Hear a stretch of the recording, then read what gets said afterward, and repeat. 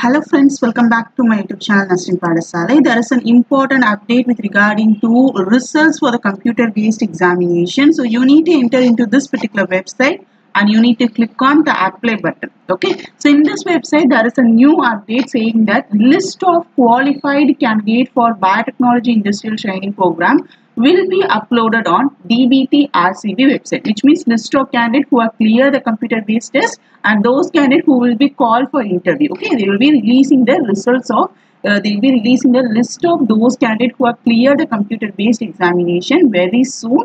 So here you need to till now they didn't release the list of qualified students they just mentioned list of qualified students will be uploaded okay so till now they didn't release.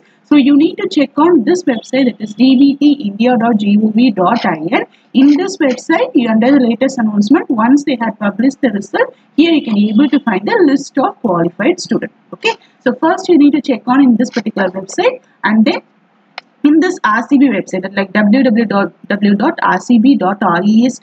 there is Regional Center for Biotechnology. Under the announcement section they will be releasing a list of students who have qualified the examination.